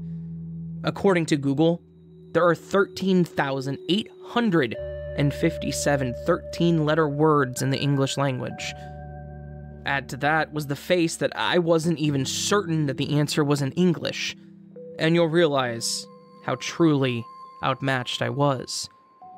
I must have clicked generate on that RNG program a thousand times, and succeeded only in spitting out gibberish 99% of the time.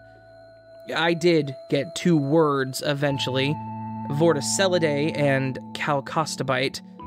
And yes, those both are actual words, and no, neither of them worked. I almost gave up at this point and realized I could literally click generate every second for the rest of my life, and I may still never find the answer. I thought maybe I was just reading too much into all of this, and then I was just being successfully trolled. I realized then, what was the point? The numbers were a distraction, a way of interjecting chaos into the equation and disguising it as order. I pondered the question again, and thought maybe, just maybe, it was referring to the previous questions. When I input my previous answers, I got a new question, which suddenly narrowed things down quite a bit. What is the purpose of chaos? The stars seemed to align then, and I hit generate one last time. Once again, I got gibberish, with the first letter being T. I skipped to the T section of the list and of 13 letter English words and began scouring through them. I still don't even know why I did that, but maybe the cryptic language made me wonder if something bigger was going on. Like maybe there was something hidden between the lines. Then I found the answer transcendence. The purpose of chaos is transcendence. And just like that, from chaos came order. The page finally accepted my answer, and I jumped up out of sheer excitement of finally solving the riddle. But this point, I had no idea what I was in for, but considering the test I had just passed, I thought it had to be something at least moderately interesting. The page took an inordinate amount of time to load. Then, when, when it finally did, I found myself greeted by an ocean of text. I skimmed through it and found my curiosity growing. The paragraphs were nonsensical but paradoxically verbose. Whoever wrote them was speaking what appeared to be nonsense, but in an oddly articulate manner. The mysterious author rambled about the state of the world. He or she lambasted the powers that be on how they were attempting to shred freedom in the name of control, how they violated rights for the sake of order, and how they intended above all else to make this world incredibly boring. The author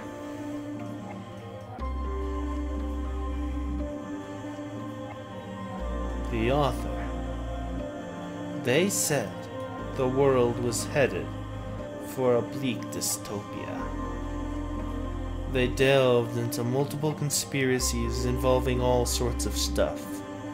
It was far too lengthy to reiterate it all, and if I'm being honest, I soon lost interest in the tangent. The most interesting was the last sentence at the bottom. Our only hope now is to let chaos reign. A cold chill slithered down my spine then, and I began to wonder whether I'd stumbled upon some sort of no no people network.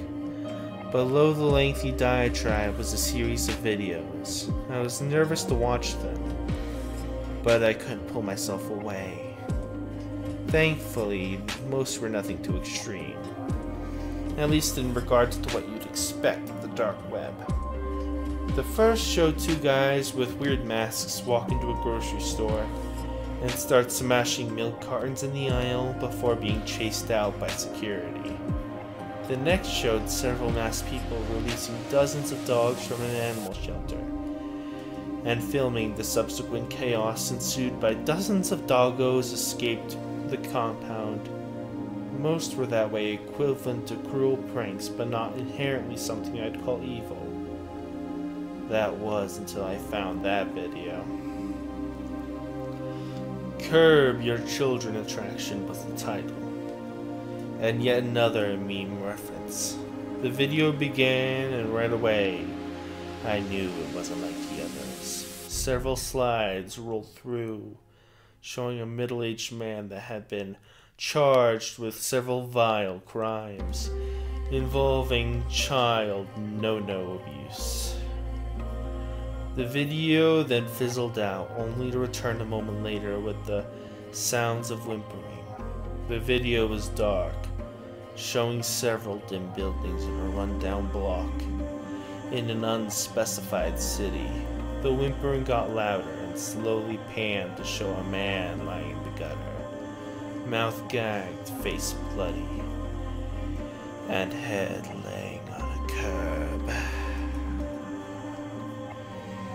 I suddenly got a very bad feeling where it was headed.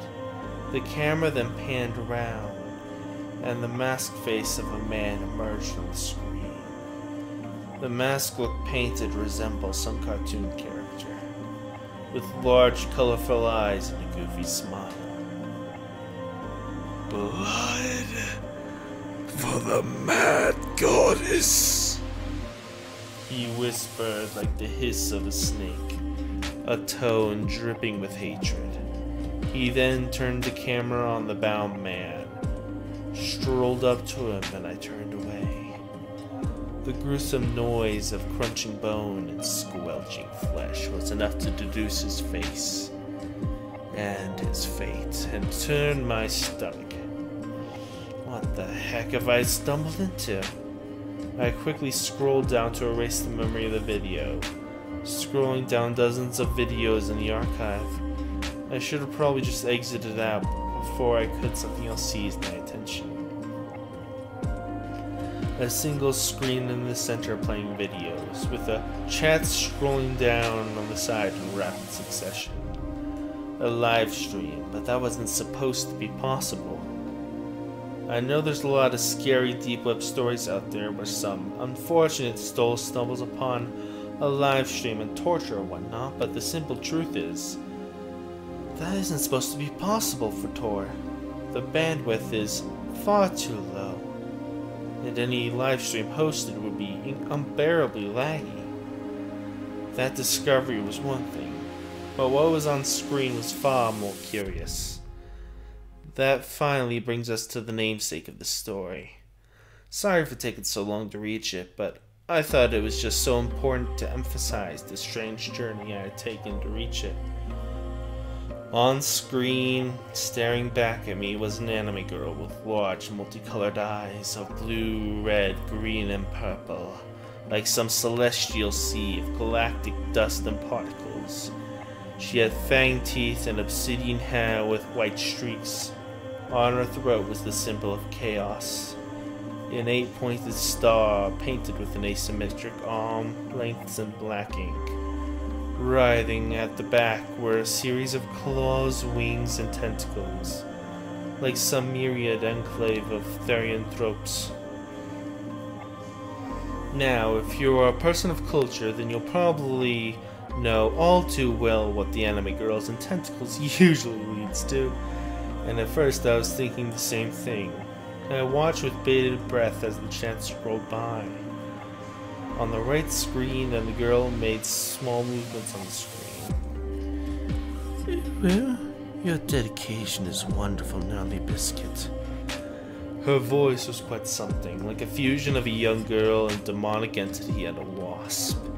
It was slightly mechanized and almost buzzed in the most bizarre tone I'd ever heard. Something about the voice was deeply unsettling. Still not certain how or what I was seeing, I hovered my cursor to the right and tried clicking on the chat. It was then I realized I couldn't, and things started to make a bit more sense. The live stream wasn't live, it was just another archived video. The video gave no scrolling icon at the bottom, meaning no indication how long the video was. Also, I could not skip forward or roll back the video, meaning I was really all I could do and sit and watch. The stream continued for a while, with the host reading super chats and interacting with the chat. The platform she was using was one that I've never seen before. It looked similar to the Twitch layout, but the features were different. More bare-boned with a lack of finesse which led me to believe it was some bootleg knockoff version. It went on for several minutes, and I was beginning to sort of lose interest. At first, I thought I stumbled upon some hidden gem, but as time went on, I started getting bored. I figured she was just going to start playing a game or continue chatting. and debated upon exiting. The haunting memories of the previous videos I'd seen on site kept me around and I knew this wasn't an ordinary live stream. Eventually, a new video popped up on screen showing a man walking towards a store. Whoever was filming was doing a terrible job of it, and I could barely make out what was happening. The guy was wearing some sort of mask, painted like a cartoon character, in what must have been reverence of the stream's host. I took a minute to read the comments as they rolled past with impressive speed. Osiris be praised, blood for the mad goddess, Pagas, chaos five ever, make them believe, Osiris forever. But by far the most egregious comment I read, 2020 was a great. There had to be dozens, if not hundreds, of people watching just based upon how fast the chat was scrolling. Another wave of chills rolled through me as I tried to snuff the memory of the video from earlier. People always make edgy comments online, but something about the setting was different. I had no idea what I was in for. And looking back, it wasn't a thing in existence that could have prepared me for what was about to happen. Be warned, these images are gruesome. She wasn't kidding either, and I felt my breath catch in my throat, so the video began to play unfurling in rapid speed, with a dizzying torrent of horrific imagery of all the horrific acts and wars ever to happen. Genocide and countless others flashed on the screens, visions of war and torture, of crimes against humanity. Peace is death and order is the noose, the clip ended. With those simple new words, I thought this strange enclave was about to rejoice in the violence. But after I read that, I realized this was something quite different. I know, Chad, humans are quite disgusting. She exited the sickening images and replaced them with the thumbnail of the video. Her avatar then grinned, which was the first discernible face movement that she'd made since it began. This is our purpose. Humanity has a natural tendency to strive for order, to constrict rights and freedoms to achieve some imaginary utopia. And where has it gotten you? Your cities are ruled by tyrants and demagogues. Children know no people and R-wordists. People that laugh in ivory towers as they poison your world and take more and more from you with each passing day. The girl paused and slowly shook her head. Chaos is your only salvation. I burst out laughing after that. I just couldn't help it. Just like the way she spoke about chaos was hilarious to me. Like it, like it was their messiah waiting to make the world whole again. The whole thing I had all this religious tinge to it, and I couldn't tell if the viewers proliferating it were just in on the joke or whether they were serious. The comments they made were clearly 4chan-esque, but with tinges of other ideologies that don't normally associate. Some oddball alliance with equal parts anarchist and the megalomaniac ideals. Something weird happened then. The lights in my room suddenly flickered. For a moment I thought I saw something in my monitor. Something unsettled, which I don't even know how to describe. A random electrical issue is what I convinced myself. But it didn't exactly bring me any comfort. The VTuber then brought up a new video and I waited with eager anticipation. The new video began with what appeared to be a dimly lit house. The screen was shaking, and the person filming was filmed breathing heavily. They appeared to be crouched down in the corner of the kitchen, clearly hiding and terrified of something. There was suddenly a loud bang, causing the person to wince. The door down the hall then slowly rolled open, revealing nothing on the other side. The person filming took off, running through the house and up the stairs as they began crying. They reached a bedroom seconds later and abruptly slammed the door behind them. Slowly, they backed away, keeping the camera's view trained on the door. Things got eerily silent for several seconds until a faint thumping sound was heard.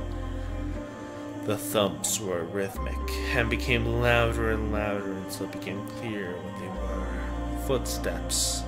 They stopped on the other side of the closed door. By this point, the person filming was near hysterical and barely even able to keep the camera aloft. They began muttering, begging and pleading with whatever that was dealing with him to show mercy. It appears his calls fell on deaf ears because the light suddenly cut out. His frantic whispers filled the darkness, and as he turned toward the window, something attacked. It happened so quick that all I saw was a silhouette with long hair. The man began screaming, and the feed turned to a blur of shadows and lights. I couldn't make out what was happening, but in mere seconds the man was silent and the video ended. The chat went ballistic, surging faster than ever. Most of the things they said were congratulatory to some degree, and they had just witnessed something impressive, and I guess, in a way, they weren't wrong. I have no way of knowing whether that video was staged, but I haven't been able to find a copy of it anywhere. The host of the stream archive sat around basking in the comments for a moment, and the chat repeated many of the same phrases I saw before. A lot of them also made referencings were referencing the coming storm and the great Ataxa, I was probably all just, uh, probably gloating, but I couldn't help but think there was warning. If there's one thing that was clear about the congregation by then, is that they were more than willing to follow their goddess's morbid decrees. A literal shrimp army of degenerates and lunatics. Thank you for tuning in today, pupils. She then leaned closer to the screen seeming to stare directly into my soul. It sounds stupid, I know. We're talking about a dang avatar, after all, but I'd be lying if I said it didn't send shivers down my spine. That gaze, it was more than human. This is why you are here. Suddenly, my screen went black along with the entire apartment. Every light extinguished in an instant. I pulled out my cell phone and it had died as well, and refused to power back on. I got really nervous then and carefully checked my apartment. I found no sign of intruders nor any reason for the sun blackout. Since it was after hours, I couldn't contact the office to have someone inspect the electrical outage. Not that I could have got a hold of them anyways with my phone being dead. I ended up pacing around the hallway for hours that night, wondering whether I should leave, and with the nagging feeling that I was being watched. I don't think it would have made a difference if I left, but some way or another, I eventually found myself in bed. Sleep came surprisingly easy considering the circumstances, but I didn't get any actual rest. Next thing I know, my eyes opened and I saw my dark room around me. The only light came from the moonlight outside, filtered through my blinds. It was then I realized I couldn't move. I tried willing myself to move my arms, but was unsuccessful. I knew it was sleep paralysis, but it was the first time I had ever experienced it. Plus, I can't imagine that the feeling is something you'd ever get used to. My heart was racing, and breaths coming in rapid succession. No matter how hard I tried, my body still refused to respond. My bedroom door then budged and slowly began to creak open. There was initially nothing on the other side, but then something took form. A slender, shadowy silhouette crawled on hands and knees into my room. its form mostly obscured by darkness. I saw dozens of appendages wiggling from its back, like a den of serpents ready to strike. It crawled forward, and my heart began beating so fast I was certain it was about to burst. The wretched thing then reached the foot of my bed and clambered toward the elongated humanoid hands. Once its head emerged soon after, it became clear that this was no human being. Celestial eyes, large and painted with tapestries of galaxies and cosmic entities. A wide mouth with jagged teeth curled into a distinctive malicious grin. She rose high above my bed, using both her main arms and slithering appendages to rise higher than any human could stand. Do not be afraid. Her voice was almost identical to the one I heard earlier on the live stream. Her command was easier said than done, however, and I could not stop, my heart beating so ferociously that it began to hurt. Her presence was horrific, yet somehow soothing in a way I don't know how to explain. Her left arm then unfurled from her torso, holding an apple, and her right soon after holding a pear. Her otherworldly gaze then singed into my skull, and her eyes glowed bright in the dark. The choice is yours. Both the fruits then fizzled away like sand rooting to the wind. Both her arms then retracted into her sides as she faded away. It's like a shadow slowly erased into the night. I awoke in a panic, frantic breaths falling from my throat, and my head aching. I felt dizzy and disoriented like I had the worst hangover I ever experienced. The room was dark once more, and after a few moments the headache dissipated, brain fog wore off, and my eyes finally adjusted to the darkness. That's when I saw what was sitting on my desk, a pear and an apple. I arose on wobbly legs and approached my desk. I stared down him at both fruits instinctually.